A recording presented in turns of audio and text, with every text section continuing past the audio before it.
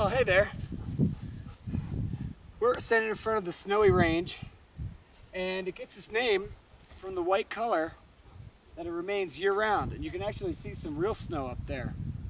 I'm wondering, why is this rock so white? What kind of rock do we have up there? So we're in the snowy range in uh, southern, south central Wyoming. And why is it that white color? See what you can find.